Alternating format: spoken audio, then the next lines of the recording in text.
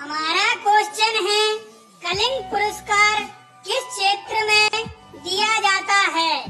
इसका सही जवाब है, कलिंग पुरस्कार विज्ञान के क्षेत्र में